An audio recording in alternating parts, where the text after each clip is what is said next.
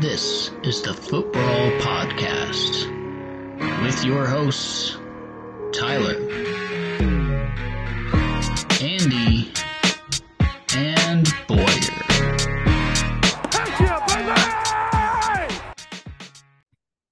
Welcome back to Fantasy Football Podcast, presented by your performance enhancing dads. What's happening, fellas? What up?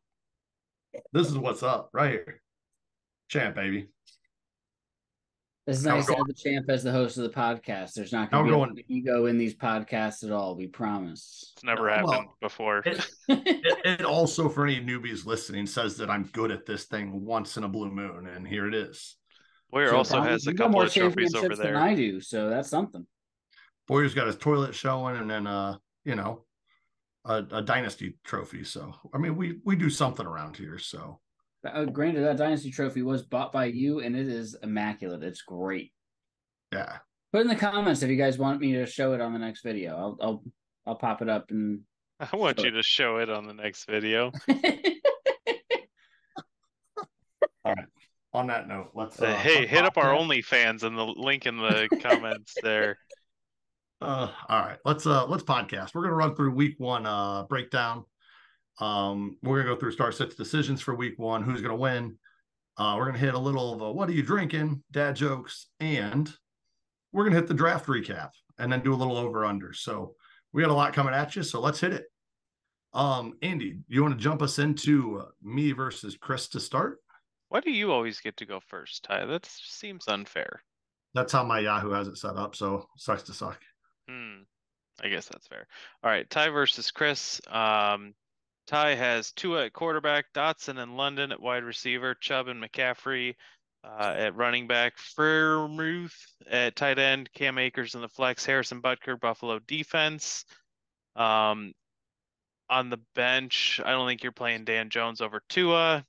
Ford's a handcuff, Nico Burks, Tony Kmet. Um, I would like to posit that you should play Kadarius Toney over Jahan Dotson. I don't think that the uh, Washington football team is going to be doing much passing against the Arizona football team. And I think that the Chiefs Lions game is going to be quite competitive with Kelce potentially, likely, maybe not playing. Um, I like Kadarius Toney in that spot, so I'm calling my shot. I don't think that you're going to make that switch. I know you're high on Dotson. I think in general Dotson's the right play, but this particular week, especially given the status of Travis Kelce, I'm going to say Tony belongs in your starting lineup, and I would take out Dotson over London. What Playing- thoughts? playing just a little bit of devil's advocate is that the uh, quarterback for Arizona, uh, Joshua Dobbs, I think, uh, not a ton of tape on him. It's very possible that Arizona can move the ball decently well due to lack of tape and understanding of the quarterback. Like we could see a decent game here in week one, and then Arizona just absolutely get blown out for the rest of the, the time if he doesn't throw 18 interceptions in the first quarter.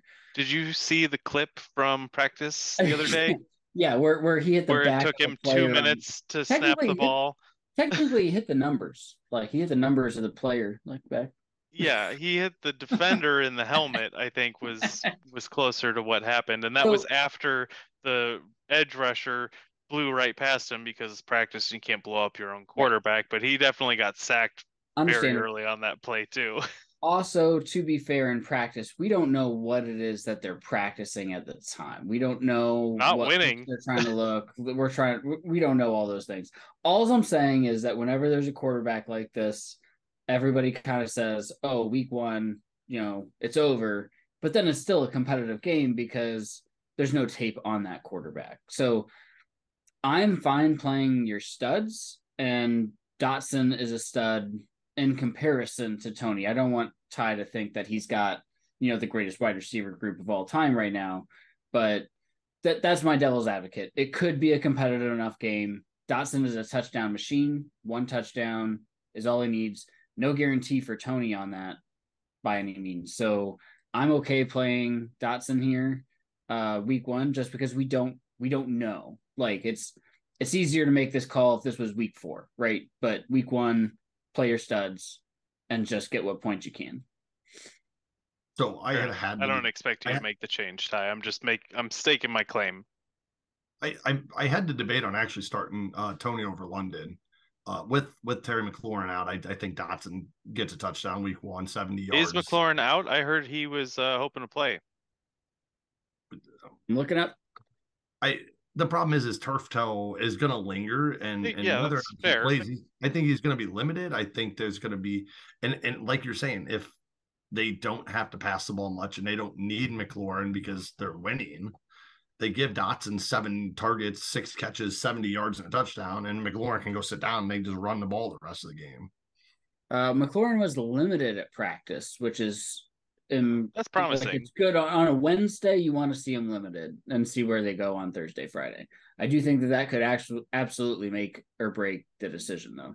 All right, we're beating a dead horse at this point. I don't expect you to make the switch. I'm saying Toney does better than Dotson this week, and if it were my team, I would I would make that change. But I acknowledge that that's not a common opinion.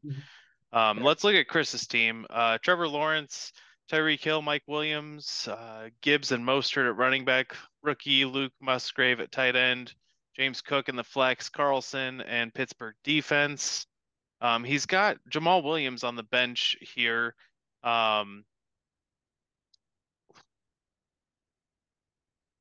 I don't know if I put him in, but uh, we'll talk about this later. Like he kept him to play him in week one, two, and three while Kamara's out, right? So it kind of is a a bummer to have used up some of that draft capital keeper spot on a guy that you're not going to use in this exact situation that you kind of expected to use him. So what are you going to do? Um, Pickens or Mike Williams this week? Mike Williams against Miami. Yeah, I- I don't I think I love like Pickens Pickens. against the Niners, but in general, I I do like Pickens this year. Yes. Uh, Wi- Williams in a shootout with Miami, I think, is going to get points. Yep, I feel that. Um, Lawrence against Indy or Richardson in the same game against Jacksonville. I'm not Lawrence. rolling the rookie in week one. I like Trevor Lawrence quite a bit this year, anyways. So so my my one suggestion would is going to be an unpopular opinion as well. Probably, I might start Jamaal Williams over James Cook. I'm not against that.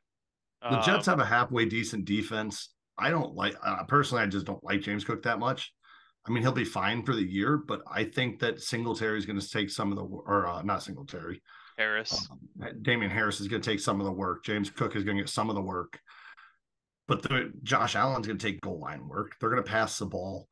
I don't know. I think I'm going to take the more sure thing and, and what Jamaal Williams should be week one over James Cook.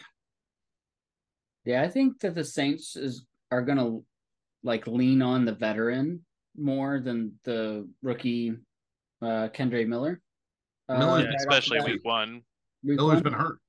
right? So I, I think that that would make sense, Ty. I, I'm on board with that, especially since we don't like. There's so much hype around James Cook, but you have this decision where you don't have to buy into the hype week one. You can see what happens, and you know that Josh Allen in the passing game is gonna cook. So, no pun intended. Uh, so I would say bench Cook, see what happens, put in Jamaal Williams with the expectation that the veteran's going to get the touches, or at least the important touches, right? And that's what we're looking at the goal line touches, the fourth quarter touches, whatever it is. Um, so I agree with Ty actually on this. I, I think I would put in Jamaal at flex and see what happens with James Cook. It could be three or four weeks before we really understand where what his role is anyway.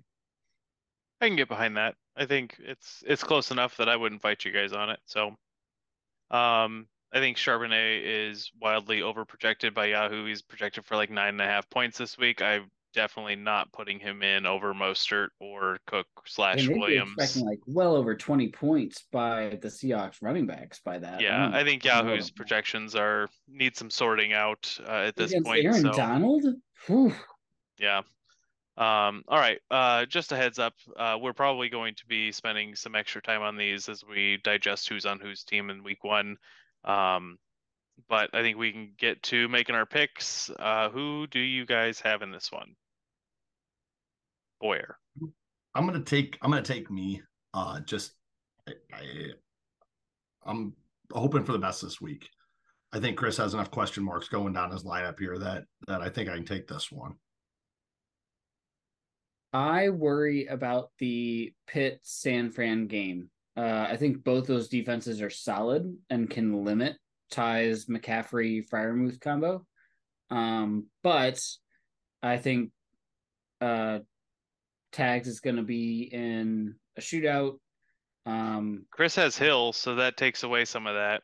Right. I think uh, McCaffrey is still McCaffrey. So even, I mean, the chances that he scores is still pretty high, even against a good defense. Uh, Drake London against Carolina, like that's kind of one of those, like they those get into shootouts even when they both stink, and they both stink. So I, I think I'm going to lean towards Ty because he's got the floor with those running backs, um, and and I see the ceiling as well. Uh, I I definitely see a path here for Chris. By I mean, this could be a close game. I think. I think this might be maybe the game of the week, but I'm going to go with not in a good way. Not in a good way, but but I do think it'll be like a 101 to 100 like type of like just right there in the middle somewhere, you know. Yeah, I 93 I, to 91 and a half. If that if, more that I think if if tags can you know stay out of concussion protocol, Ty's going to look real good on this one. I think I've got Ty in this one. I'm I'm not saying I don't, but um, I think that Chris has a window here, depending on how much uh, Jahmyr Gibbs is able to do tomorrow night. Um, that's, you know, the, they've they've question. talked him up all preseason. Oh, he's gonna he's gonna be our deep threat. We're gonna use him in all sorts of packages. Jahmyr Gibbs this, Jahmyr Gibbs that, everything, everything, everything, and then just yesterday the quote from the coach was, "Well, we're gonna ease him into it tomorrow night." It's and, like okay, like you know, I don't know what's going to happen. You you never know with rookies in the first week. Dameon Pierce, I don't think touched the ball in week one last year. It was all Rex Burkhead. So, right, coaches fuck around, and week one is always weird. But Gibbs Gibbs is a talented guy, and Detroit really wants to use him in a lot of ways, from what we've been told and what we've seen coming out of camp. So, if he pops off in his first career game against a team that they're going to have to score a lot to keep up with, that's Chris's window to get in this matchup. Yeah, and to be fair, Montgomery is a Campbell guy. Just a pound it, roll it in, just get all the volume, and he may just end up doing that to try and limit the amount of time Mahomes has on the ball and those type of things. Uh, I could see Gibbs being the linchpin here. I agree with you, Andy. All right, all three of us pick Ty. Yep. Boyer, jump us into Jeremy versus Fryer. Jeremy and Fryer. Sorry, I have to actually find these guys because they're not, you know, like in order for me. But uh all right. Uh Jeremy's got uh Justin Herbert at quarterback. He's got uh the Sun God at wide receiver. Uh Diggs, Henry, Dobbins, Waller, Lockett, He's got a kicker and a defense. I know we like to say that, but Myers and Washington are Washington specifically might end up being very good. I know I said we don't know for sure, but very well could be top scoring defense. Um, so I don't want to look over that. Um, on the bench, uh, Javonte Williams for Denver, which is a great bench play. Uh, Skyy Moore, Achane, Michael Thomas, Spears, which is just a handcuff, and Van Jefferson, which could be very interesting if Kupp doesn't play. Um, looking at his team though, like he has almost too many. They're older, but he has name brand players. Like he's he's definitely got the Kellogg's to the to the store brand of cereal here. Um, so I don't think that you're benching almost any of these guys. Even Tyler Lockett, we know can produce in in bunches. And I know Tyler doesn't appreciate that, but he can produce in bunches, absolutely. And in not in all honesty, he has enough of a floor with Henry and Diggs and uh, the Sun God and Justin Herbert that he can play a big upside guy like this in week one. And if he gets three points, then you know he's got plenty of other players right now. Week one, they're fresh, regardless of their age. That I think that you probably just stick with what you got.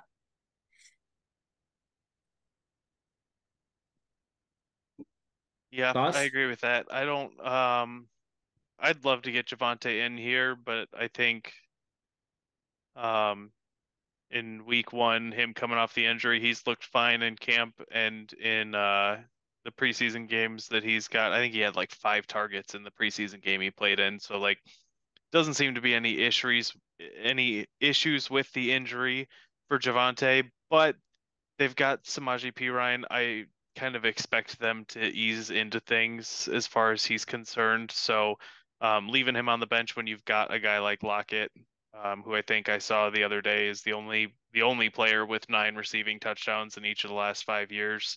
So I mean, keep that in your lineup. Jeremy's got a bunch of guys. I think he's got a solid advantage here, and it, you would hate to give back points because you got cute and started a guy like Javonte who goes out and gets ten touches for 35 yards in his first game back off a major injury. Yeah, so um Jeremy drafted a 2020 2021 All-Star team here. Like from years ago. And I think week 1 it'll be great. I like the upside he put on his bench for if that team starts to falter later on. But I don't think early in the season that's going to happen. And it's kind of one of those things that's like, don't mess with a good thing. Everyone's healthy, everyone's looking good. They're going to get volume and touches like they have in the past. Like he's he's kind of in a time machine right now, and I, I don't think you mess with that early in the season. Yep, I agree with everything you guys have said. Um, the only argument I could have is kind of the same thing Andy said with getting a Chiefs wide receiver in there, Skyy Moore. But I'm not putting him on over Lockett. Lockett's a, a sure thing as much as I hate Lockett. So I'm I'm leaving his lineup as is and see what happens. But he's got great depth. That I- I nothing. will- I will say is that uh, Lockett and Skyy Moore probably have very similar floors and very similar ceilings. Might as well go with the the guy who has you know popped off and done crazy things in the past, right? Like, Right. might as well. But Yep. All right, let's Uh, jump over right. to Matt. Let's jump over to Fryer. Fryer's got uh Lamar, he's got Lamb and Addison currently at wide receiver. He's got uh Kenneth Walker, who was essentially a great keeper, uh Jerick McKinnon at RB2, Andrews at tight end, Stevenson at uh the flex. He's got a kicker in the Philly defense against New England, which again that could actually be a pretty good matchup for him.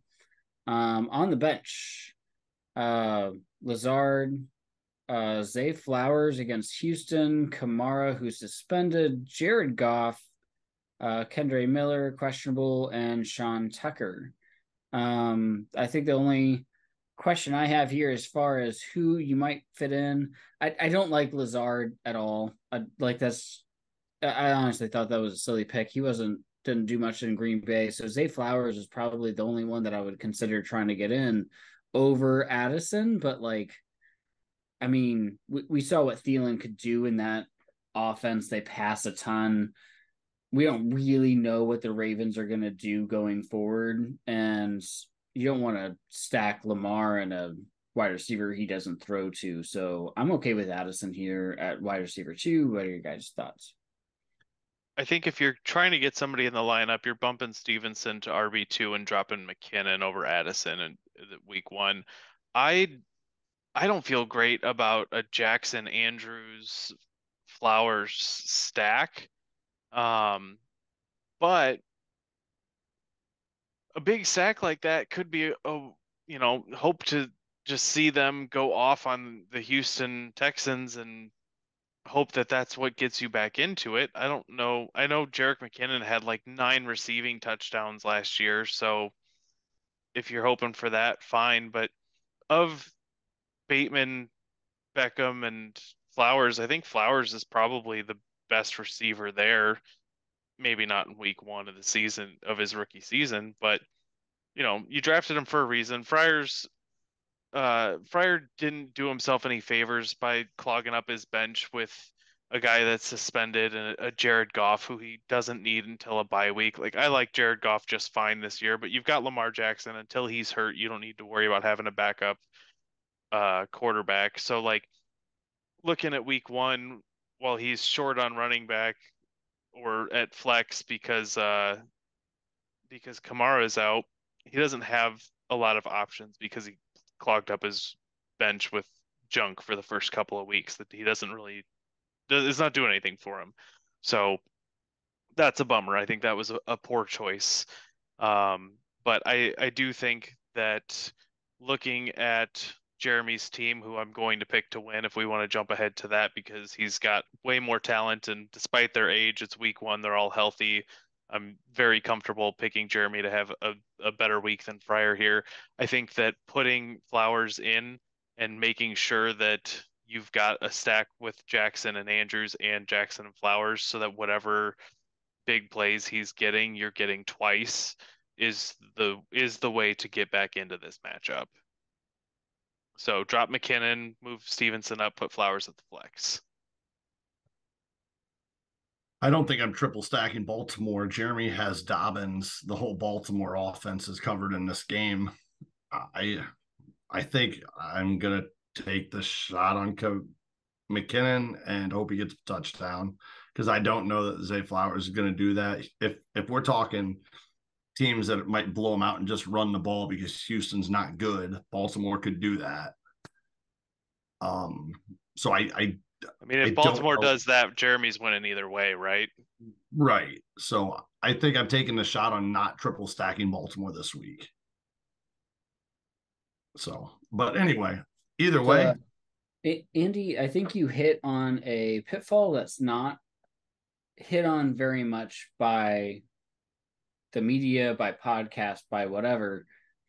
I feel like a lot of times in drafts, um, you're setting for a rant, the, the, we focus on like the overall season, right?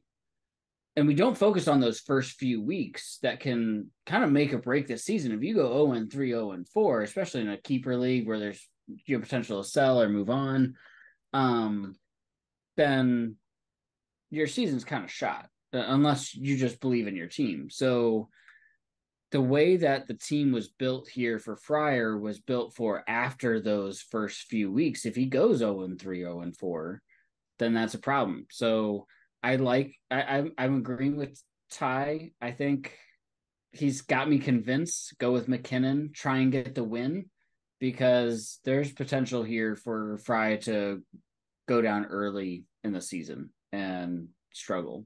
Um, he's got to he's got to try and steal some points or steal a win here. But I'm I'm gonna go with Jeremy um, on this one. I think he's got he's got too much going on his side with too many healthy guys who, who can produce. Andy uh, prediction. uh, I've got Jeremy. Fryer, you should start Flowers. Fryer, you should drop Goff and go pick up Zach Moss before he's fully healthy. So that way, in week two, you have more options that can actually play for you while Kamara's still dealing with his suspension.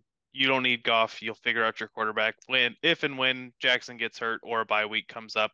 You don't need him right now. Unfuck your bench. That was great advice, by the way. Don't don't say that because I've been considering picking him up for Cole, dropping Cole Kmet and going and grabbing somebody like that. All right. Well, I'll send Fryer a message so that he has an opportunity to do it before you do it before the podcast comes out. So great advice. All right. Uh, you got Jeremy? Yep. All right, cool. Let's go to Paul versus Andy.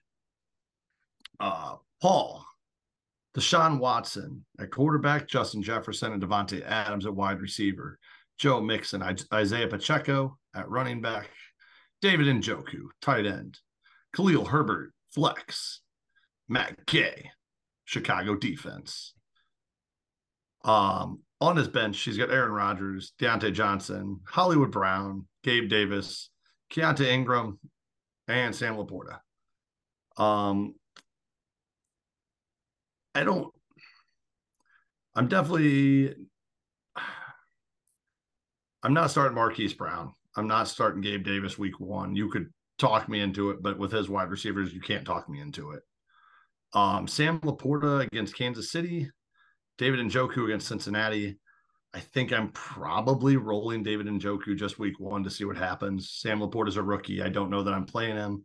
He hasn't really had much. He's been playing all the first team snaps, Laporta, and preseason, but he hasn't done much. I think he's going to be a stud moving forward, but week one, I'm not starting him. Um, Aaron Rodgers against Buffalo or Deshaun Watson against Cincinnati would be your other option. And I think I'm going to leave Deshaun Watson and hope for the best. Uh, Buffalo's defense is solid. And I think you kept Watson with the hope that he's going to be your starter and going to be good. So I'm going to play Watson. Um, so I think I'm leaving uh, Paul's starting lineup as is. Yep, I agree. I think Diontae Johnson's not going to see the light of day uh, with having three startable running backs and Jefferson and Adams. So no reason to even consider that in week one. And then um, I think Rodgers and Watson are probably both in shootouts this week.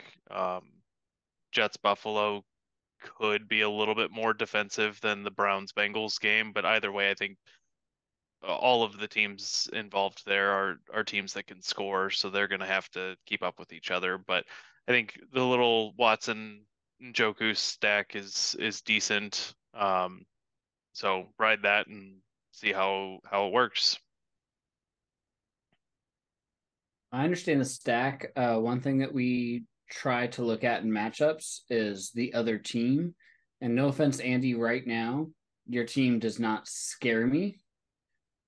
I watch Watson is a kind of boomer bust type quarterback in week one. We don't really know what's going to happen. He did not look good in the back half of the last last season. So I think I would put Rodgers in because I think Rodgers fresh. He's got weapons. I, I think he's getting at least the two touchdowns that you would hope to get out of your quarterback. I'd hit the floor on Rodgers rather than the ceiling that Watson could give. And if we both, if we think that they're going to be in shootouts, I'm going to take Rodgers in a shootout. So I, I think I'm going to go Rodgers here personally, uh, just because I don't think it's not, it's not like Andy's team is bad. It's just it doesn't have a ton of like high end players to where it's like, oh well, I've got to like get that ceiling player in. I, I think Rodgers is more than capable of giving him the points that he needs. And Jefferson and Adams and Mixon, Pacheco, Herbert, like all these guys are very good week one players, even if we think that, you know, like Herbert could be supplanted later on. Week one, like that's a good team. I, I would stick with Rodgers get the consistent play, a little bit of a ceiling there. I I'm worried about Watson personally. So um, I, don't have any think, issues with uh, give Watson a week and see how he's doing. I do think that's the that's kind of what I would do. You know, I, I, would wait to see if he actually is able to hit those things that he wants to hit. We know what Rodgers is. Rodgers is Rodgers. I don't like Rodgers this year, so I'm going Watson and I feel very good about that. Also, we talked about Jamaal Williams being a keeper earlier, and like you cap him to play him. I, I think this is a Watson situation. You you kept him, you you start him, you see what he is. If he if if he sucks, then you put Rodgers in.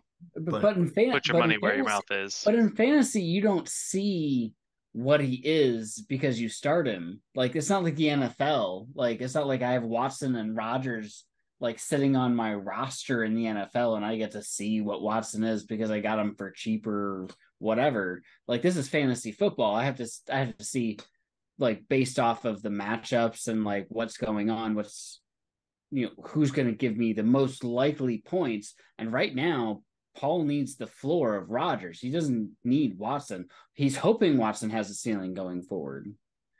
You got that because you had a super team two two years or whatever. This is good yeah. management. This is good management. Take my advice. Good management for two years and bad management for the five years preceding to give you good management. So I'm just All saying. Right, anyway, let's but move on. We're gonna. Hit, we're gonna I'm, I'm just saying team. is that that's that's my thought. Week one, see what Watson is. Put in the the the normal guy, the, the guy who's just going to give you good points. The white guy. As a podcast, as a podcast host, we're moving on from Paul's team. I make decisions around here. You Okay. don't make decisions. You're right, but we're going to pretend. Andy's Okay. team. Andy's team. Quarterback Joe Burrow. Put Wide some receiver. respect on it. Wide receivers Amari Cooper, Brandon Aiyuk. Running backs Bijan Robinson. Some of you would be trying to give him Brian Robinson, but he took Bijan. Please. And- Brian. And Dameon Pierce. Tight end Dallas Goedert. In the flex, D'Andre Swift. Kicker Young Ho Koo. Defense Baltimore versus Houston, to be specific. On his bench, he's got Courtland Sutton, Tyler Higbee, Elijah Mitchell, Tyler Allgeier, Quentin Johnston, and Romeo Doubs. So, with that, uh, Elijah Mitchell, currently a backup, fill in breather type guy. Tyler Allgeier, same thing, handcuff for Bijan. Courtland Sutton, I'm Interesting not playing this week. Cooper. What's that? I said interesting this week.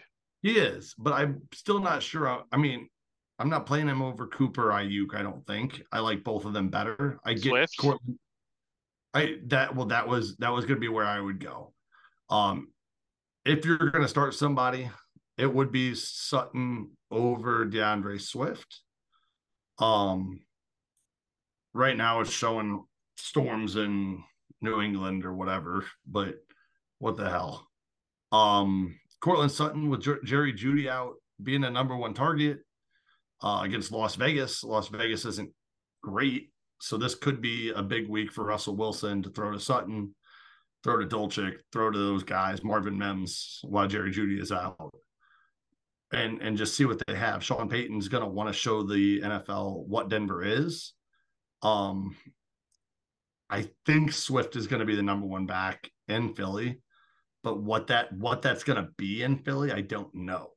It could be a touchdown and 30 yards because Jalen Hurts takes touches. Uh, Gainwell takes a couple passing downs. They put in Penny for a couple downs. Swift gets the most carries, but what is the most carries in Philly? Yeah. Um, so I think this week I would take the swing on Sutton over Swift.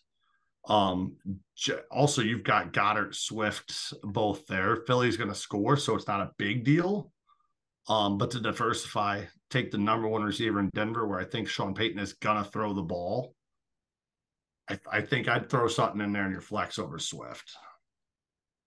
Yep. That's that's what I'm toying with and the diversification is the main reason that I'm leaning toward making the switch. Having Goedert and Swift who can't play off each other at all is uh not my favorite. Uh it's it's not a great way to build a roster, but if you're gonna have two guys on the Eagles, it's not terrible. Belichick has made uh, questionable GM decisions. He's made questionable coordinator decisions, but his defense is always solid.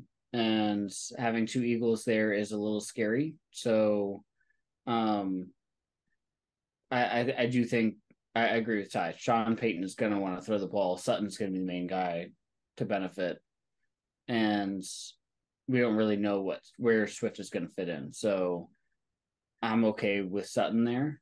Um, really, either way is fine. But any running back against New England, I think in the past just doesn't, you know, it's always kind of disappointing. I mean, we're looking at week one, so I I think I'd go Sutton here just to see if I couldn't get that. That just he- he'd be a target monster based off the injuries that they have over there. So that's what I'm hoping for. I'd go Sutton. All right, who are you guys picking? I'm gonna take Paul week one. Sorry, Andy. Hey, you do what you gotta do. I did. I did. I did exactly what I had to do. Yeah, I'm I mean- I'm gonna take uh I'm gonna take Paul week one. Uh, I'm gonna take Bijan for 120 and two, and I will be comfortably ahead come Monday evening. So it's all me, When- baby. All right. Brian Robinson leading to the promised land. Okay. Or B- What are you Bijan. drafting for? Yeah, yeah. All right. So that's our first uh differential here. Uh Boyer and I take Paul. Andy takes himself. We're not gonna go straight down the board. So Andy, move us into our next matchup here. All right. Uh, Walker's got Pat Mahomes tomorrow night, AJ Brown, DJ Moore at wide receiver, Najee and Brian St. Robinson at running back, Dalton Schultz at tight end, Deebo in the flex, uh, Jake Elliott and Dallas defense. On the bench, uh, Mike Pittman Jr., uh, Brandin Cooks, Zeke, Damien Harris, Chuba Hubbard, and a unemployed Kareem Hunt. Um, I don't think I'm getting any of these guys in over Deebo, even against Pittsburgh. Um, anybody see anything they want to argue for? We lost Boyer. That's all right. Uh, I if I was gonna do it, Michael Pittman over DJ Moore, but that's not gonna happen. Most people will not make that change. Yeah. DJ Moore once again was a keeper with AJ Brown, expecting him to be the one-two punch. Um, I Michael Pittman's been so mediocre, but I like Michael Pittman. I like And with a rookie quarterback too. Right, and and I like Michael Pittman, but but Sure. one, I'd like to sure see how that offense looks after Right. after a week, but But I, don't well, like like you said, I wouldn't put any of them in over uh, Deebo, especially week one. Even with Pittsburgh, I would probably make the move to to get rid of DJ Moore with Pittman. If Pittman could promise me numbers, I would keep AJ Brown, Deebo, and then throw Pittman in. But you're going to keep DJ Moore week one because they've got Green Bay, which should be a fairly decent matchup, and hopefully Justin Fields targets more for your sake. So yeah. All right, let's punt over to Microsoft Teams here. Uh, Boyer's got uh, Josh Allen at quarterback, Tee Higgins, Mike Evans, starting wide receivers, Miles Sanders, Breece Hall at running back, Evan Engram at tight end, Antonio Gibson uh, having the other half of the Commandos running backs here in his flex, Justin Tucker, San Francisco Niners defense, um, a pup listed uh, JCT on the bench, Kenneth Gainwell, uh, Dalvin Cook, Chris Godwin, Rashee Rice, and Greg Dulcich on the bench. Um, I like Rashee Rice, but I'm not playing him this week. Um, Godwin versus Evans, you're probably playing Evans because of the touchdown upside in a standard league. Um, and then Gibson against the Cardinals in a game that I expect them to be running. I feel pretty good about that. Um, it what it really comes down to for me is whether you're comfortable playing Breece Hall or if you're playing Dalvin Cook. Um, I'm sure we'll get more sound bites about that as the week goes on, but I think I'm leaning Dalvin this week. Um, yeah, so, Ty, so the only other the only other thing I would say is is if I knew Tampa Bay had a quarterback that was going to be good, play both Play those both of wide, them. play both those wide receivers, move Gibson up, get rid of Hall. Um, but I'm not sure with Baker week one against Minnesota, that's what we want to do. Um, but that's really the only other thing I can say. I mean, Dalvin Cook versus Breece Hall, at least you have both of them. They can interchange before Monday night. So you, I mean, that's going to come down to what we hear from the Jets, what we hear from all the media about, oh, Breece Hall's on a snap count. Dalvin Cook's going to be the starter, or Breece Hall's good to go. And then I, if they if they say Breece Hall's good to go, and they they're not talking about snap counts, which I think they will be. So I think I'm starting Cook. But if they don't Yeah. say anything about snap counts and they say he's good to go, clear, I'm going to start Breece Hall and, and hope for the best. I know that they're still going to work him in, but as long as they're not calling it a snap count, what's the difference between a, a 50-50 timeshare with him and Cook? I think Breece Hall Breece Hall has the bigger upside playability, and I, I would take that. But if they're saying snap count, I'm going with Dalvin Cook. Yeah, I think I'm going just to make my argument on the other side. I think I'm going Dalvin even either way, um, because it, it almost similar to the Javonte Perine argument here. Like, regardless of what the sound bites say, like either you're gonna go Dalvin because of the way that they're talking and feeling concerned about Breece Hall's usage, or they're saying Hall's good to go, everything's peachy keen but there's nothing wrong with Dalvin either. And it's probably still going to end up looking like a 50 50 split. So 50 50 split's your best case scenario because they're easing Hall back into it. They do have two stud running backs. And why would you give 75% of the carries to your young guy coming off an injury when you're trying to keep him healthy for the long run? Like, I don't, I don't see a scenario where it's anything better than a 50-50 split. And sure, if it was a 50-50 split, I'd prefer a healthy Breece Hall to do better than Dalvin Cook in that 50-50 split. But if that is like if that's the absolute best case scenario and what makes sense in my mind, I'm just going with Dalvin and hoping that he gets more of it. Boyer, thoughts?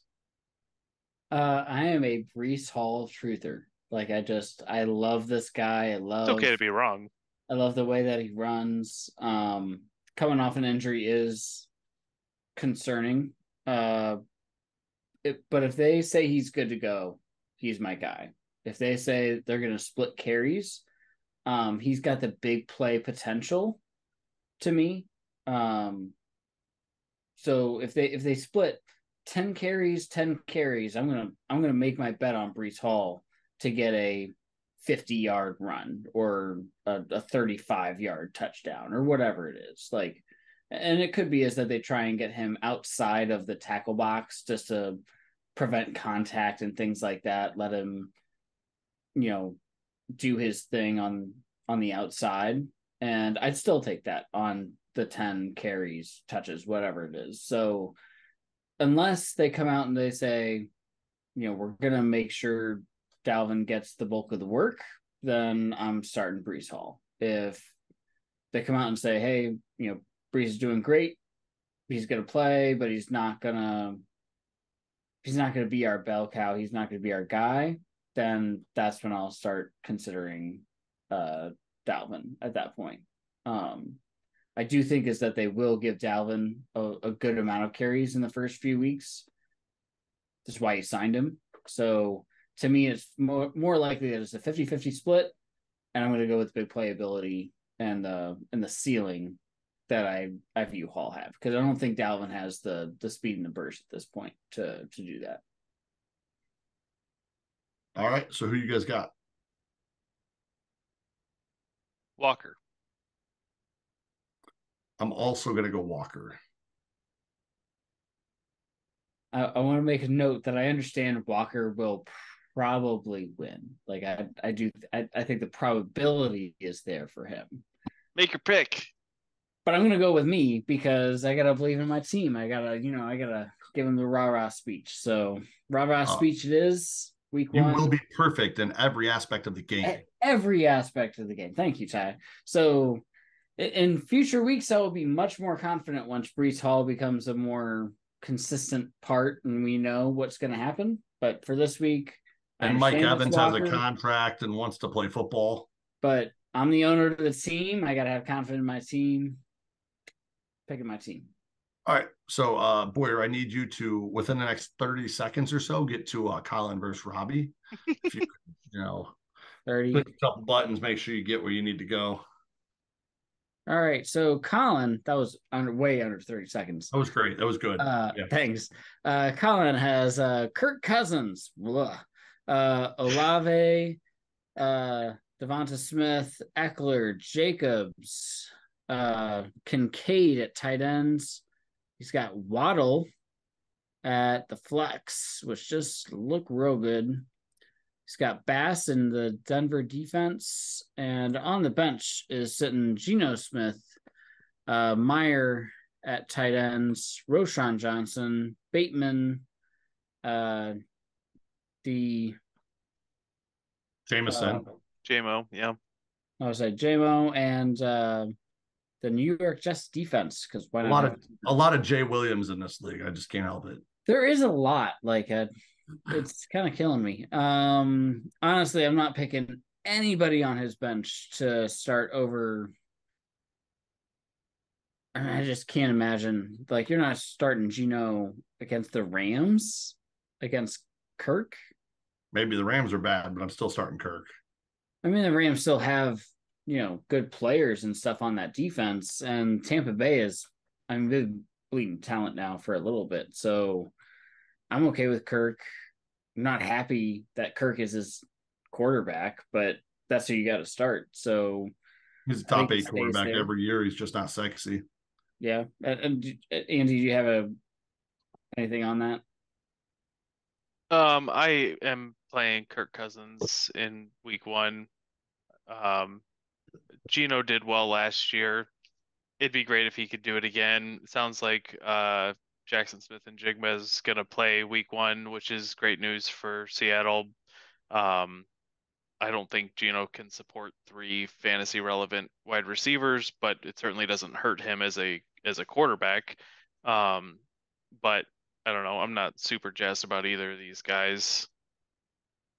G- All right. Geno is also one of those quarterbacks where he had a great first half of the year and struggled in comparison in the back half. So I'd stick with the guy who's at least been able to handle bad teams. And I think I, I do think Tampa Bay is a bad team.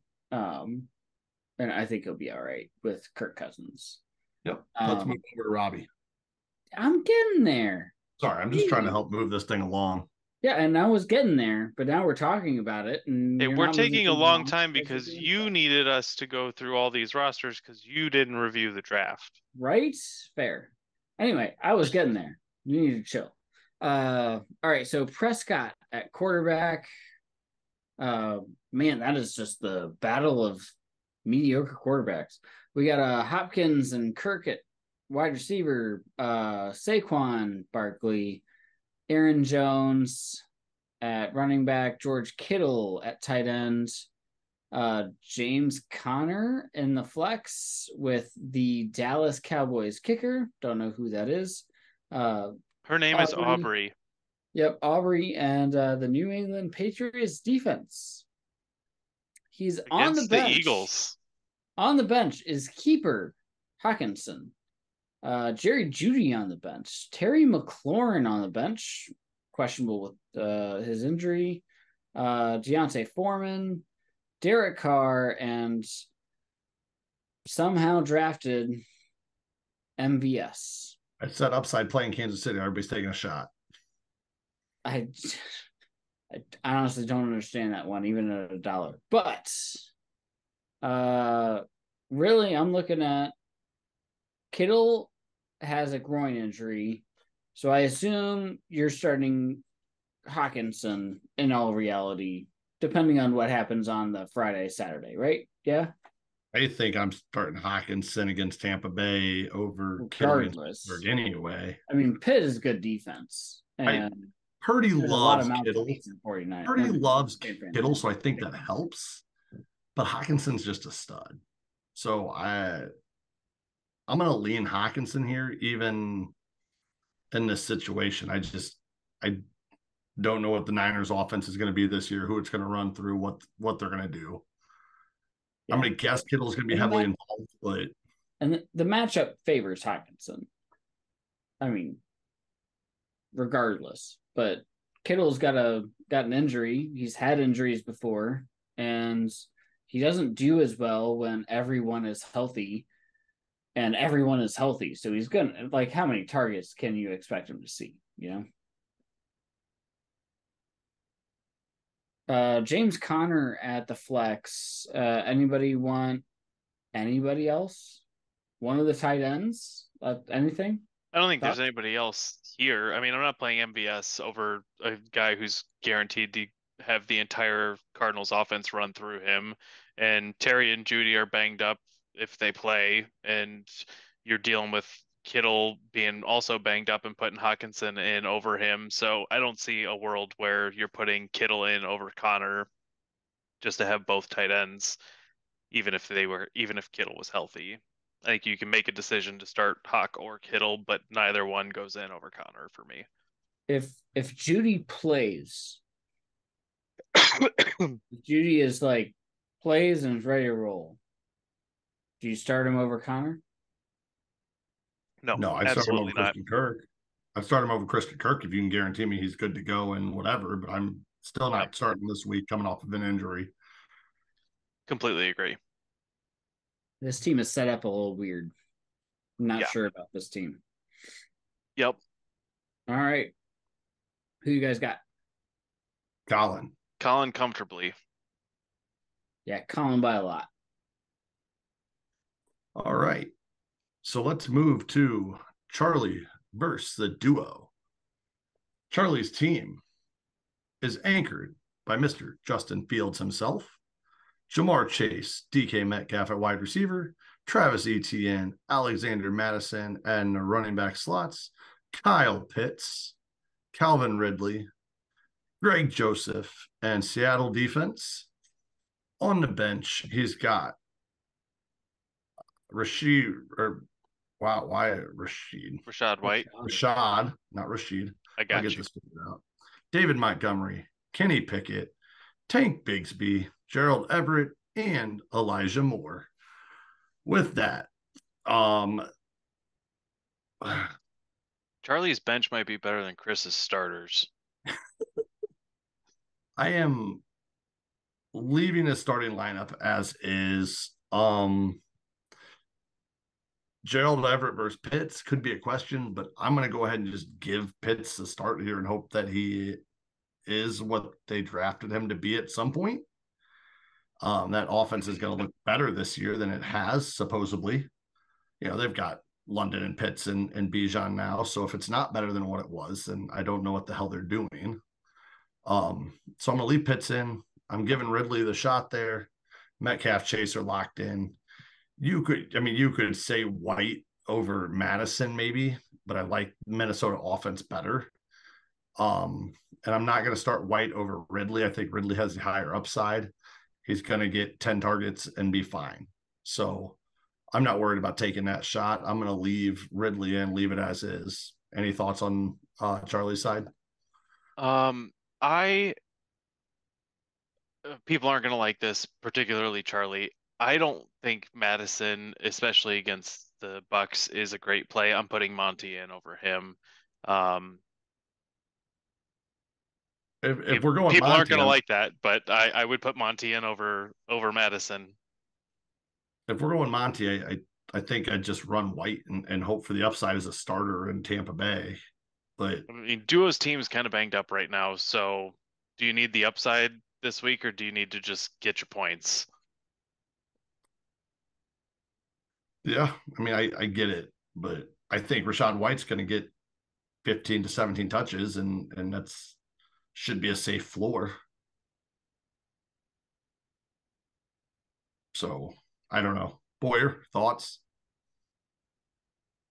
it's hard to bench Mattison, but I but I understand it because I think I think Monty just fits what the Lions want to do, especially early on, so well that I feel like that he's gonna get a lot of volume. I, I really do. I, I feel like I feel like Gibbs is gonna get a lot of like sweeps and passing work and you know whatever it is to get him to space and they're going to lean on Monty to be kind of the combination of Swift and um, Williams that they wanted last year, and that could change throughout the year as Gibbs, you know, gets in the offense and you know they, you know, figure out what he is.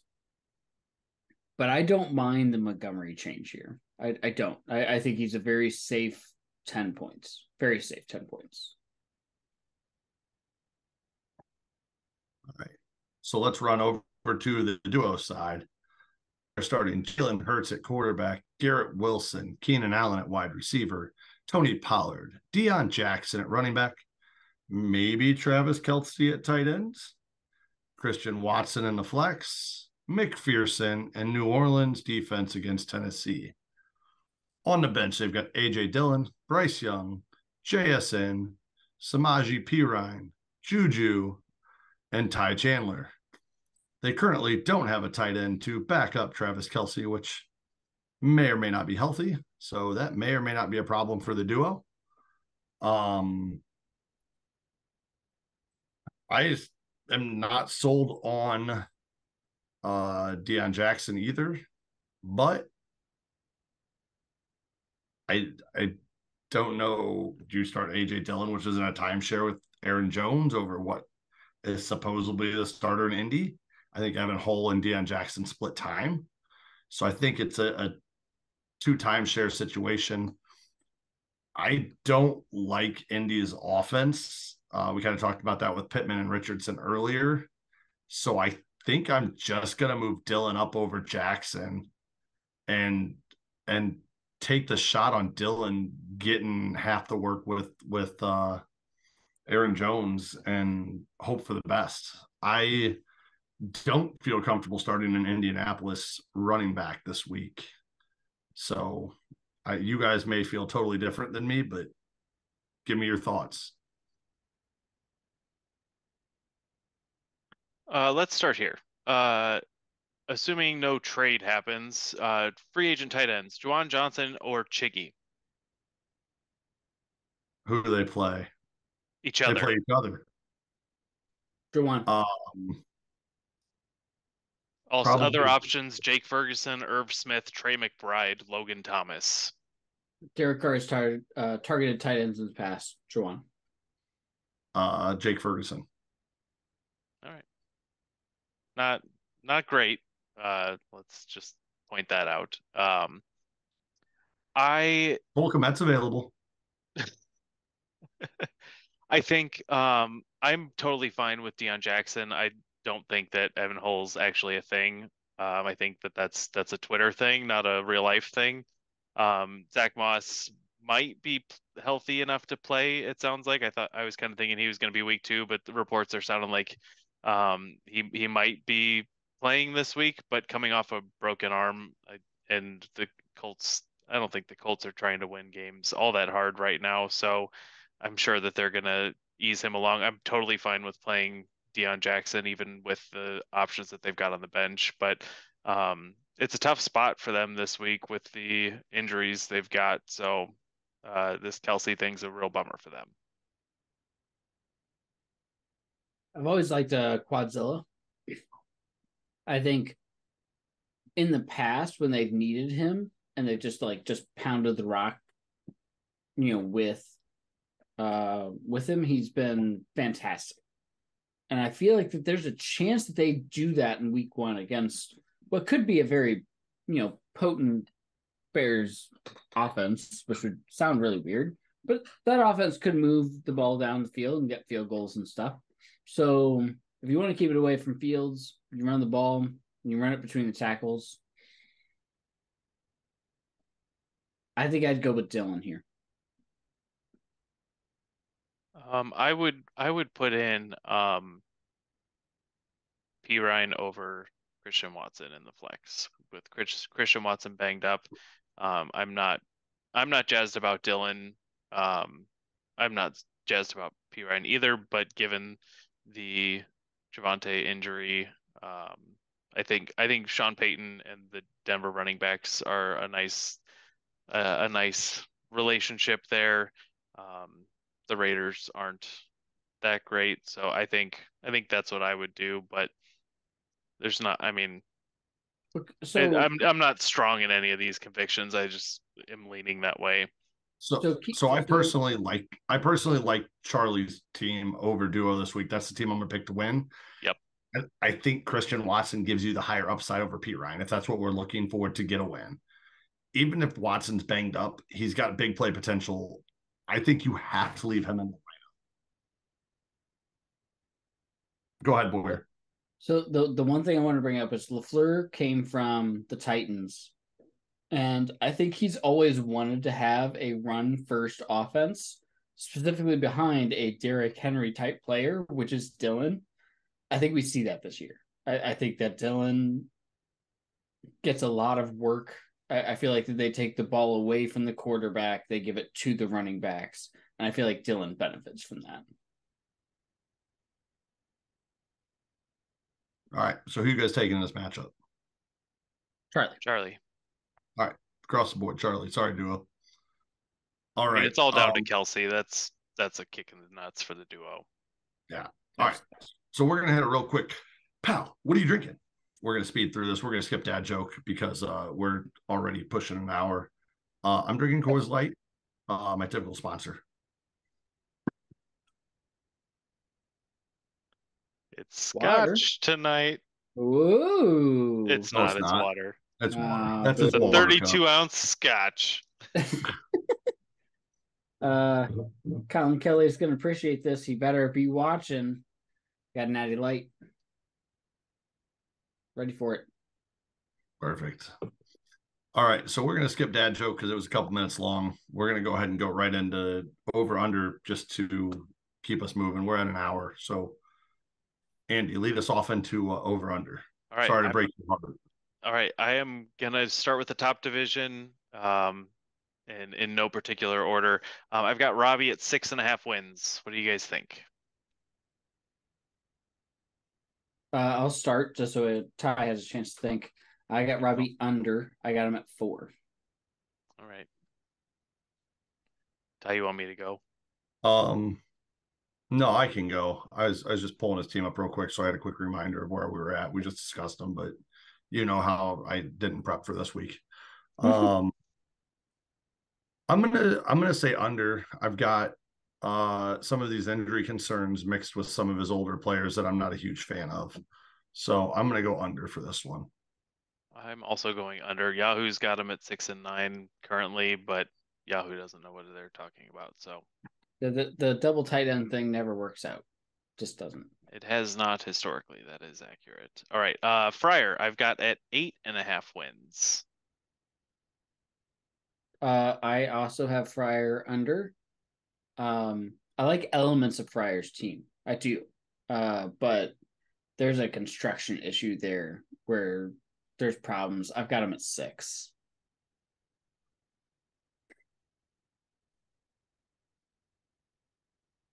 Um, I've got him about seven, seven wins, maybe eight, but I don't think he gets to the eight and a half.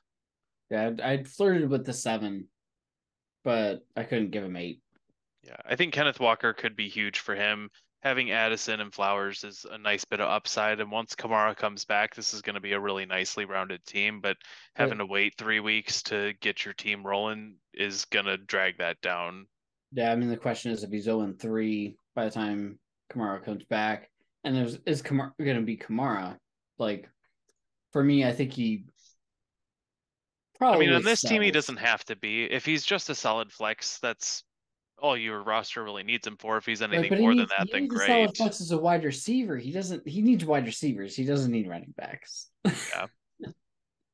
I I'm kind of with you guys on that seven to eight mark.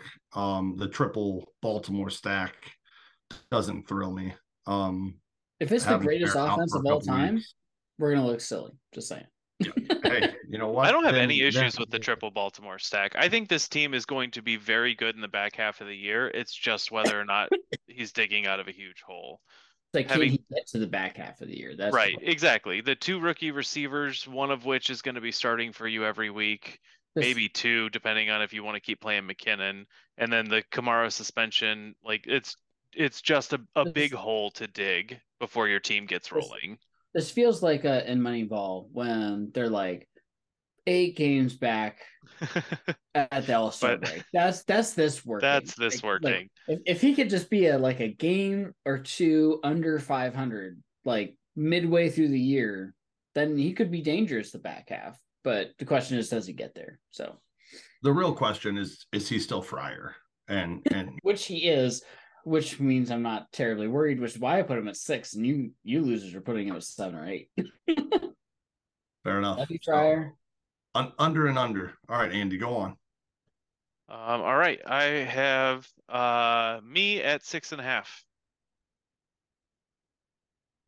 i've got you at the over at eight um part of this is just knowing you as a manager you'll figure out a way to wiggle, your, wiggle whatever weaknesses your team has into advantages um but generally when i was looking at the schedule the nice thing is like i put fryer and robbie both under which means you're going to benefit you know on, on those you know divisional matchups so I, i've got you at eight Okay.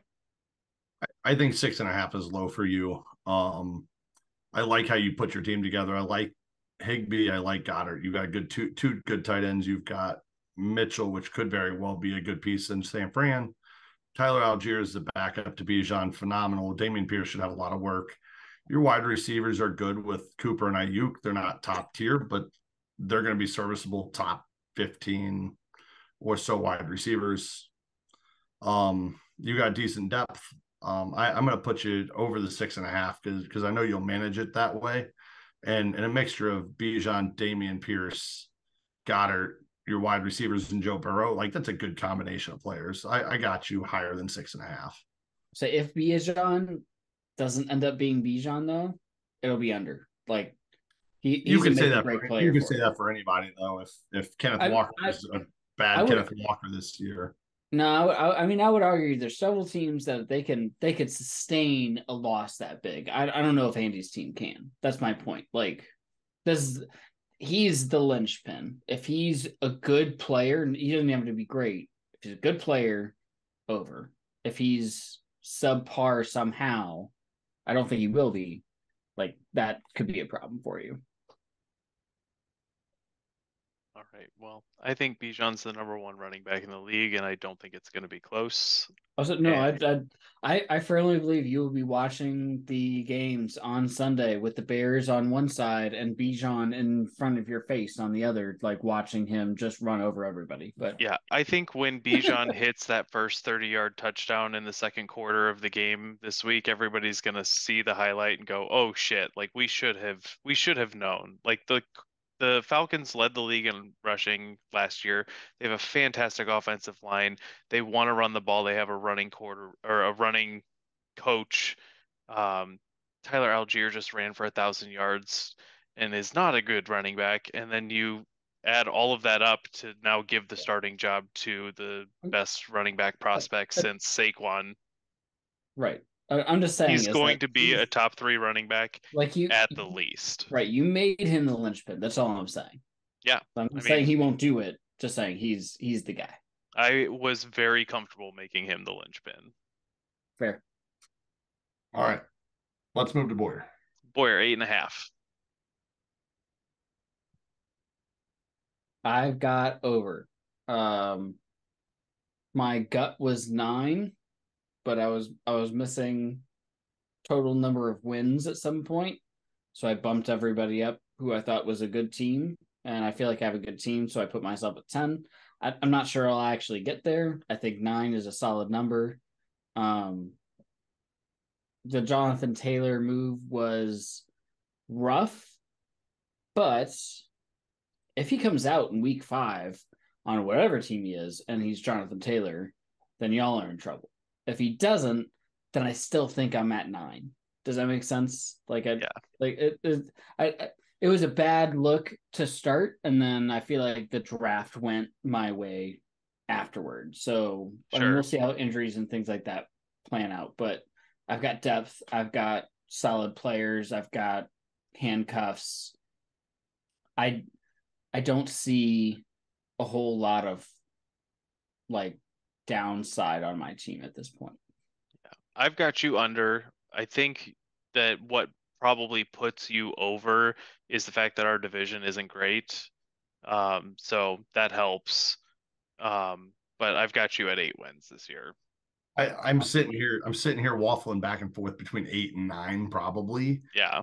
Uh, which it makes it's it a good over under because, like I said, like I had my team at nine. I had to add a a right. game to a bunch of teams, and I just added it to the tops. So, and and Boyer hit it. I mean, he's got Jonathan Taylor, which is going to be a huge key to this year when he comes back. What does he look like? Where does he go? I think the other key is going to be Mike Evans. Does Mike Evans get traded? Does he stay in Tampa Bay? Does he hate his life in Tampa Bay? Does he play hard? I I don't know what Mike Evans is this year, and I, and I hope because I have him in other leagues, he's going to be a good player again. Uh, but he makes me nervous. The Breece Hall, Dalvin Cook thing is it going to be Breece Hall? Are they going to keep a timeshare? Are you going to be playing guess which running back each week? Uh, so I'm hoping for your sake that that all this kind of pans itself out. But that's where I'm kind of waffling back and forth. But like Andy said, your division is not great. So it gives you that possibility to be at 9, 10, 11 wins if, if the rest of your division is that bad still. Thanks, division. Appreciate you. So, all right. With that, I'm going to put, if, if we're going to take a prediction, I'm going to take Boyer to win this division. Um, I think it will be between you two. Um, but I'm going to take Boyer to edge out Andy. Um, if you guys want to take a quick pick at this one. I think that's probably the popular pick. I I I don't like the players on Boyer's team outside of Breece Hall and Josh Allen. So I for that reason I'm gonna pick me. Um I, I definitely see where this works for him, but I'm not a fan. Uh, I don't like Andy's team minus Bijan, so. but we're we're at least on the same page as that. But um, yeah, I've got me at one, Andy at two, Fryer at three, Robbie at four.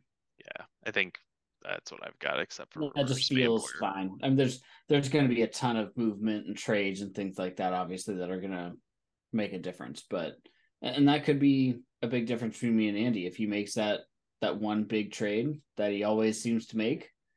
He, he's going to leapfrog me relatively easily. All right, Chris. Let's go to six the, and a half. Let's go to the bad division. Chris, six and a half.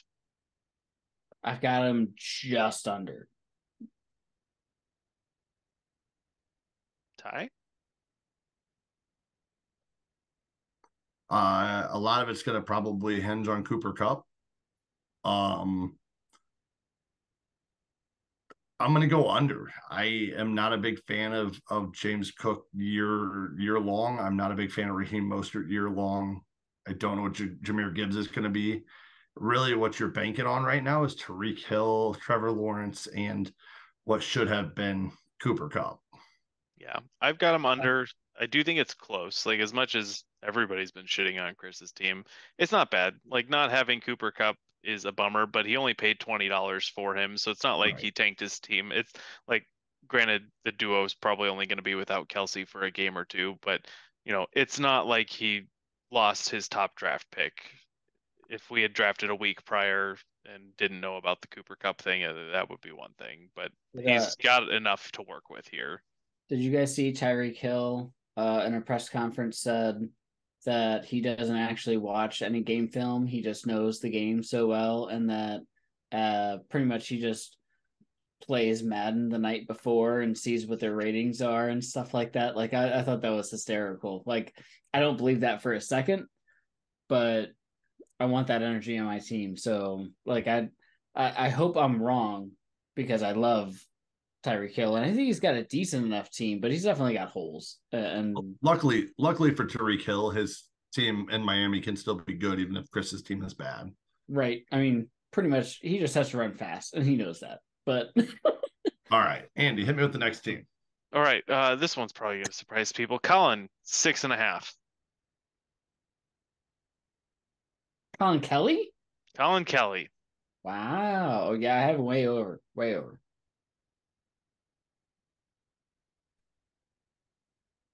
I'm going to take the over as well. I don't know about way over. I've got him at seven. So got him at 10. His quarterbacks are okay. His wide receivers are all young and and and good. I get it. But what I mean, is Chris? Olave they're all number twos on their team. Olave's probably not, but like Waddle and Smith are number twos, which they they do it as number twos, but like it's not like we're looking at AJ Brown and Tyreek Hill here. Right. I and then you look at, but then you look at his bench. He's got Dalton Kincaid and Michael Mayer. Nothing on his bench. It's a fucked well, up got, team. He's got Dalton Kincaid and Mike and Michael Mayer as his two tight ends. Rookie tight ends. Uh, can can Josh Allen support a tight end? He doesn't normally. He throws his wideouts. He runs the ball in the end zone. Dawson Knox is still there. Like, I, yeah, nobody's talking about that, but it's not like he left and they replaced him with Kincaid. I think right. Kincaid's better, but he's still a rookie tight end. Tight ends have to block and do hmm. other things, and Dawson Knox is still there. So I, I think there's enough question marks here to say I'm not going to put him way over. Colin is a good manager, and Colin will find a way to make a good trade to get him where he wants to be. But based off of this, I'm going seven, maybe eight wins. Yep, I've got him at seven. Uh, Waddle was wide receiver one, two, three, four, five, six, seven. He was wide receiver yeah, seven last year. He was. He with was. hot garbage at quarterback for at least eight of the games because his other quarterback had, you know, brain potato, damage, mashed potatoes for brains. So, like when we say Waddle is his wider is like a wide receiver, like that's like we have to acknowledge that there's a difference here between other teams' wide receiver twos and the Dolphins' wide receiver two. So I don't really think that that's being honest with Yeah. what his I team mean, looks like. The Eagles and the Dolphins both have relatively small receiving rooms in terms of who's on the field and who produces. That's fair. But I'm not as excited about it as, you know, I, I'm not going to say that DeVonta Smith and Olave and Waddle are all going to finish in the top 12. Like, I think that that's highly unlikely. And that's pretty much where they were being drafted. Right. And keep in mind, Olave was wide receiver. I don't want to actually add this together. It looks like it's like 16 or so. So, and Sure. then DeVonta Smith was wide receiver 10. So all he has to do is between the three of them get the 8, 10, and 16. And I think that that's definitely doable. I, I don't feel like that that's a far fetched at all. So I, I feel like saying they're all wide receiver two on their team. I, I feel like that that's kind of missing the mark. So when I look at his wide receiver room, it's one of the best wide receiver rooms in the league. And they're young and have potential to even be better.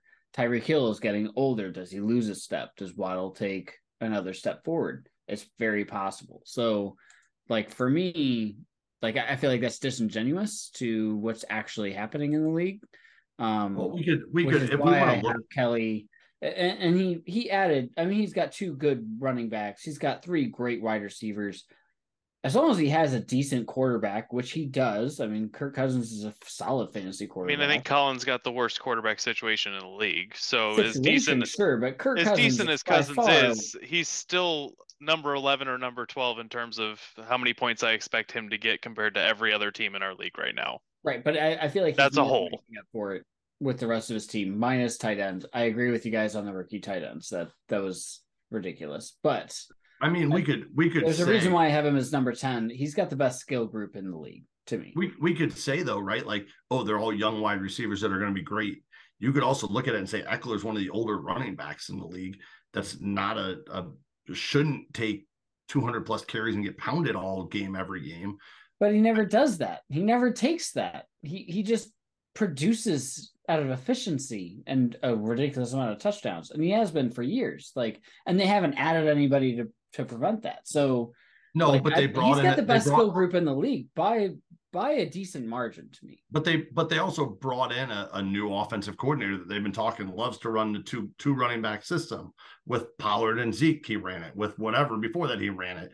He's right, going to he bring the second Pollard. running back He here. doesn't have Zeke. Like he he has Ekeler. That's like Joshua Kelly is not.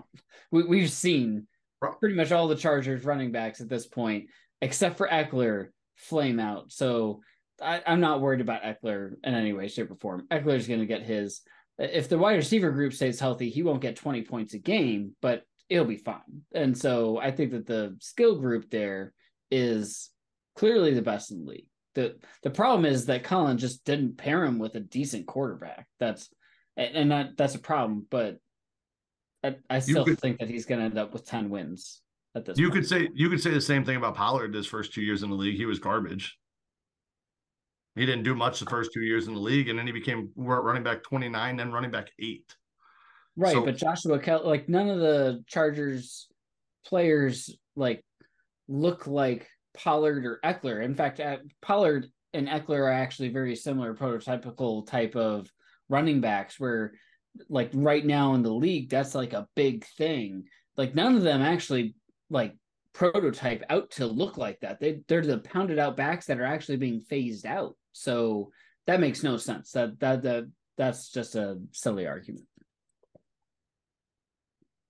Just wait. Andy, go Yeah. on. No, I was going to say I don't think that Ekeler's going to thrive in this new offense the same way that he has the last couple of years.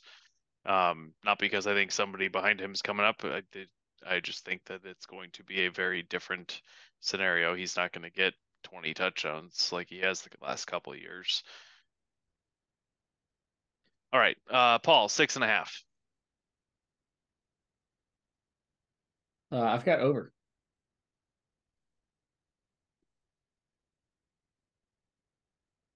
I'll take him over as well. I will also be over. Um, Ty, six and a half.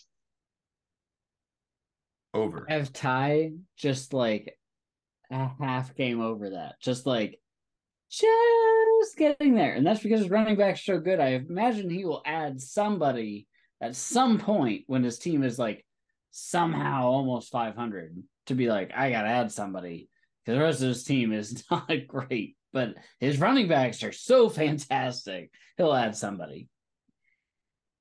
Yeah, I think I gotta go over. I'm not super jazzed about Ty's team, but I gotta go over. Also, it was fun to put all four teams in that division right at six and a half and see what happened. Um, all right, uh, Jeremy, eight and a half. Uh, I have Jeremy over. I've got him also at 10 wins. Um, I, f- I feel like he'll do most of his work early, uh, but he does have enough upside on his bench to sustain it to a degree. I'm not sure he's a championship, like a guaranteed championship winner because of it, but I I like his team to start with this year for sure, and he can make moves to make it work. I also have Okay. Jeremy over. I like Jeremy's team this year. Yeah, So I'll put him over whatever win total you want to give him at this point between that six and a half and eight and a half points. I'll put him over. all right. Uh, we've got duo eight and a half. Line was set before the Kelce injury. I've got under before the Kelce injury. Ty? I, I mean, I would say under as well. I, I just his running back room is is not exciting to me. The Kelce injury is not exciting to me. I his honestly outside of Wilson and Keenan Allen, Christian Watson's a shot. Jas- Jaxon Smith-Njigba's a shot. He's going to be playing flex roulette all year. I, I'm not super jazzed about this team. Yeah, I I struggled to pinpoint what I thought about this team because this is effectively the uh, exact opposite of Collins' team. Like they're pretty thin at receiver and running back. Like Pollard and Wilson are are good. I think both are were being overdrafted this year, but you know that's a, a different story. That doesn't mean that they'll be bad. Um, Keenan Allen's still good. Um, their RB two if Taylor comes back is either P Ryan or, Dillon or probably Dillon, but like not not good. Like they're real thin at the important positions. Granted, it's easier to fill those positions on the waiver wire and stuff than it is to find a viable tight end. So assuming that Kelce's healthy, having the top quarterback and the top tight end is a, a really big deal and we've seen that pay off for teams. But I don't know that there's enough here past that, even if Kelce's healthy, to beat the teams that they're going to need to beat, particularly in this division. So I'm going under. Yeah, and, and I'm not sold that Hurts is the top quarterback. Um, he lost his offensive coordinator. They've lost some offensive linemen. I think that teams will be prepared for the They got third Swift. and one, fourth and one, More than covers that. the the third and one, fourth and one. You know, push forward for a touchdown, like whatever it is they were doing. They didn't change the rules. Yeah, but but I, I I believe that there will be defenses over an entire offseason that will have made preparations and practice for it. You know, so for me, I'm not sure that Hurt Hurts is going to be the number one. There's potential. I can't disagree with that, but I'm not saying he's definitely going to be number one. And if he is, and he's got number one and number one uh, tight end too, absolutely, I agree. But I, I don't. Hurts has a lot going against him this year, so it'll be interesting to see how that works out. And then he just doesn't have a lot on the skill position side to like make up for it if Hurts isn't. So that's where I have him under. Whoever drafts Kelce doesn't make the playoffs. Fair We enough. talked Yep. about that. We, we, we One out of the five Yep. years. I listened to the last podcast, and the last podcast told me that doesn't happen. So All right, let's go. Who's next? Uh, all right, Walker, eight and a half. Um, I'll start. I'll say over. I think Walker's team is uh, is very well built. I have it just under. Um, but there's potential there. I, I struggled with Walker's team probably the most, honestly. Um, I feel like he's got a decent enough team, uh, but there's there's holes and there's issues there.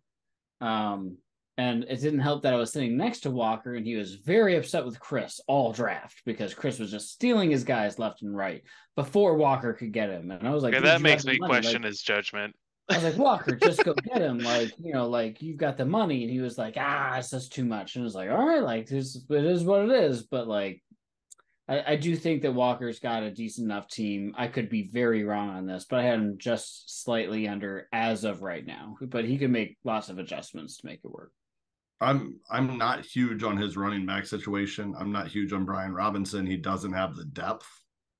Um, so he's gonna have to find a, another solid running back at some point. Um, I like AJ Brown, I like DJ Moore, I like Deebo Samuel, Patrick Mahomes is great. I don't like his tight end and Dalton Schultz. Um, and I don't like I his think running- Dalton Schultz could be the leading receiver in Houston this year. he could be. But they also he was could, smart to sign the one year deal. The coach likes the tight end. I think th- I think it's a great situation for him. To be fair, I could be the leading receiver on the Titans right now. That's what I'm saying. Like there, there's not a lot of talent there. Like five foot eight Tank Dell isn't gonna do it. Nico Collins or uh, post cancer John Metchie isn't exciting. Bobby Trees hasn't done well in four years, and getting a rookie quarterback and a shittier team isn't gonna do it for him either. So, I mean, I, I don't think it's and like leading receiver doesn't mean I think he's gonna be a Right. stud, but at tight end, if he gets five touchdowns and 850 yards, that's a top six tight end. yeah. That's fair. And Schultz is a but- good tight end. He- But the running back situation still scares the shit out of me. yeah, I mean Brian Robinson at running back too is He he will he will make an adjustment. He will buy somebody. He will figure out how to get there. So I think Walker has a good team, but those are my biggest flaws in his team is is the running back situation depth and and tight end. I just not a fan of Dalton Yeah. Schultz. and, and when I put under, it was because of the situation he's in right now, not what I think necessarily he could plug those holes with later. What was what was the over under? Eight and a half. Everybody in this division's eight and a half. Um, I've I'll got him over. Boyer's got him I'll- under. I'll put him over. All right. And Charlie, eight and a half. I got Charlie over. He's got a top to bottom solid team to start with. He's got a great, great base to work off of. I think I think Charlie has more holes than Walker. Where? Um, What is his holes? Well, I don't think Rachaad White keeps the job as the number one all season. I mean, he could be his wi- his running back four. Well, I don't like David Montgomery either. So Okay, so they're both on his bench because he doesn't need either of them. This is a Okay. deep roster. I, So I don't. Etienne, Mattison, like both, that's fine. Ridley at the flex. Metcalf I'm not saying any of his are running backs are like top end talent, but he's got four startable running backs every week. I, I think he overpaid for Etienne, but he also got his handcuff. Andy, I think you've been teaching some of our league mates. Some people are Okay. learning, guys. They're listening. So, but I I don't see a hole on his team. There's not a lot of minus Chase and maybe Fields. There's not a lot of top end talent on the team, but he I don't think he has a hole on the team. By any okay, means. okay. So I said I said I think he has more holes than Walker. Walker's hole was tight end and running back too. I- I'm not saying there's a lot of holes on Walker's team. So I. I don't know. I don't know where where I'm getting jumped at that, that I'm saying his team sucks by any means. I'm saying Uh, no, no. You, you I like he had- Walker's team. You said he Walker had more buys- holes, and you just listed two holes on Walker's team, and me and Andy are struggling to see one hole on Charlie's team. yeah, Okay. I don't see a hole on Charlie's team, but that's fair. Walker's team is also very good, so it, uh, I I see what you're saying. I'm, I'm also we. I don't know what Geno Smith and, and Seattle's going to be this year. They added Jaxon Smith-Njigba. DK Metcalf should still be the number one, but there are three mouths to feed there. We talked about that earlier. Is DK going to be a top 10 wide receiver this year? Probably not. Is it going to be a top 24? Because he's wide receiver two right now. That's what you need to be. I think DK could easily be that. I I mean, I don't think JSN takes away from DK as much as he takes away from Lockett. I think it's a matter of whether Geno can be closer to what he was last year than closer to what everybody thought he was before last year. But I think DK's due for more touchdowns than he got last year. All he has to do is scratch a thousand yards, and if he gets nine or ten touchdowns, then you're putting up top twenty-four receiver numbers there. Right. If you're talking about wide receiver, you're talking about Chase's wide receiver one through twelve, solid. Metcalf one through twenty-four, solid, and Ridley one through thirty-six, solid. Like uh, I'm not seeing the whole on Charlie's team. He doesn't have a ton of top end talent, but I don't see a hole in his team. If he adds one big player, then I think we're all in trouble, honestly. Because I, I like. I think I think if Walker adds one big running back, we're all in trouble too. So I, I, don't. I'm, my my bad for having an opinion. You guys win. Charlie, your team's the best in the league. You're over whatever the win total is. So you're great. It was eleven. Andy, Andy, we're hurt. Best, the best team in the league. You're getting. You're going 13 wins. 13 wins, Char. I mean, I got him at 10, but or nine, but sure. I, I didn't. I didn't even get to have an argument on my side, so I'm just gonna. He's over what's, whatever the win total is. What's your argument? Well, it doesn't matter because I say one word and you're going to jump down my throat. So we're just going to move on. I'll be quiet. I can be quiet sometimes. Let I, all right. Where I get okay. Calvin Ridley is going to be a wide top 36 wide receiver. Is that what he was drafted to be? We talked about earlier. Oh, you know, DeVonta Smith was drafted higher than he should be, or these people are drafted higher than they should be this year. Was Calvin Ridley drafted to be a top 36 receiver, or was he drafted to be a top 15 receiver? I mean, oh, I I have Ridley in the top 20, but and he was, and he was a two dollar keeper, so I hear okay. you. You don't have to like him that high. I do. Right. But I'm I don't think Alexander Mattison is the full on answer there either. So is he a, a, a stud running back? Like I like Etienne, but they're either going to throw the ball a whole lot or they're going to give Etienne the ball. Right? Yeah. I don't I don't personally like Jacksonville's offense that much that like Trevor Lawrence is a top three quarterback. Calvin Ridley is a top 10 quarterback or wide receiver. And Etienne is a top eight running back. I don't see it. Everybody's high on Jacksonville. They're going to be a stud offense. They're going to be one of the best and you know most improved team. Ridley's going to bring them there. I don't see it. So my concern is Etienne to me isn't a, a stud running back that I like that much. Alexander Mattison, not a stud running back I like that much. Kyle Pitts hasn't done crap yet. Yes, that team has to be better, but what is Kyle Pitts? What is Calvin Ridley? He hasn't played in a year and a half, and everybody's already deeming him as the number eight wide receiver in the league. Like, there are holes on this team in my eyes. Rachaad White probably won't hold the starting role. And if he does, it's not a great starting role. David Montgomery, I don't. Andy's talking him up like he's putting up 22 touchdowns and 800 yards. Kenny Pickett, fine. Tanks Bigsby, back up to, to Etienne, fine. But if Etienne goes down, Tank Bigsby is going to be okay. He's not going to be a stud fill-in running back, I don't think. Gerald Everett, fine. Elijah Moore, fine. Like, yeah, he's got pieces that can start. Yes, he's got depth at, at running back. Oh, we lost him. The most well-rounded team in the league because I'm not high, I'm not high on his running backs. I'm not high on Ridley like everybody else is. So I think I that's think... I think that's fair, Ty. I think with the because I'm I'm not going to argue any of your points.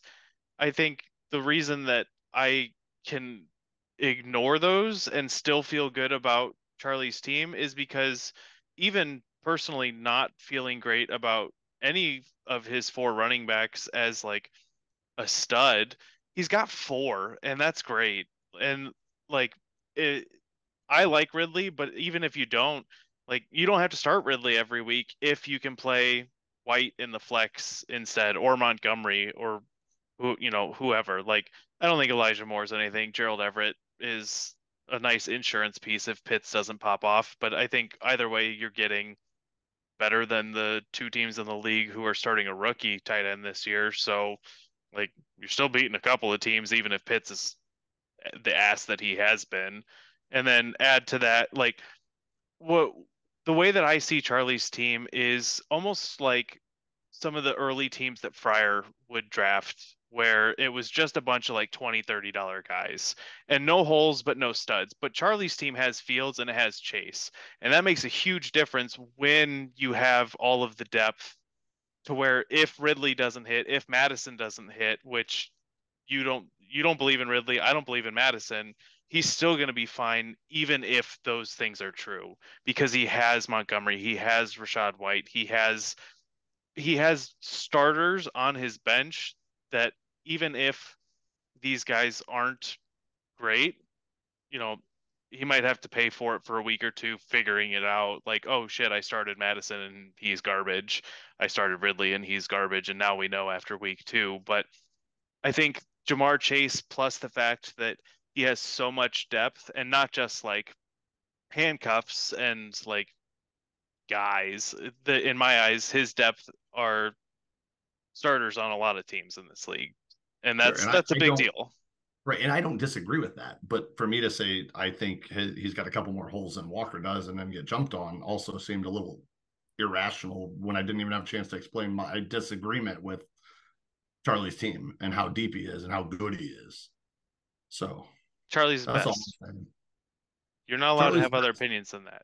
He's he's putting up 13 wins this year. I mean, he had two hundred thirty dollars going in the draft. It was hard to fuck it up. He didn't fuck it up. Let's just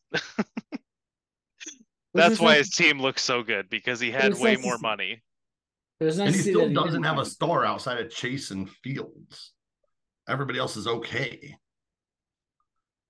So, whatever. It is what it is. On that note, if uh, either of you want to give us uh, a quick draft overpay, underpay, how you guys feel about a certain situation, feel free. I know a couple of you guys, or at least Andy, you said you have a couple uh, notes if you would like to run through those real quick, feel free. Yeah, um, I thought uh, that the best buy was uh, the Breece Hall for 27, Dalvin Cook for eight. I think locking in the Jets backfield for $35 is is fantastic value. Um, particularly Breece Hall for $27. Um, worst, I, I have I have Freiermuth at 11. I think that Pitts at eight and uh, Kittle where he went, I don't remember, was like 14, maybe 17.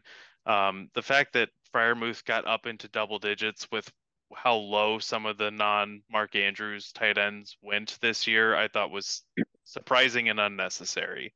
Um, so that was one of the the bigger ones. Waddle got caught as as kind of the last big guy on the board, but 53 for Waddle when Diggs went for 52 and CeeDee Lamb went for 46 was uh, extreme to me. James Conner for 27 was also well above where I had him on my board. I like Conner this year, but I liked him for the $12 I thought he was going to go for. So, um, and then Mark Mark Andrews for $34 was kind of ridiculous. But the worst uh, the worst one was Kenneth Walker not being kept for seven dollars and then getting drafted for forty four. That was the worst one, and it's not thirty seven dollar value. That's insane yeah, but you've got Hawk on the bench for ten dollars, so you know so you gotta feel good. Put right? that two dollars in your pocket. All right, Boyer, anything? Those are my notes. I got nothing. All right. Well, on that, I hope you guys enjoyed this two hour podcast. Uh, tell us how you feel about our uh, analysis on any of this. Let us know if you have any questions, whatever. Otherwise, enjoy week one of football. We're out.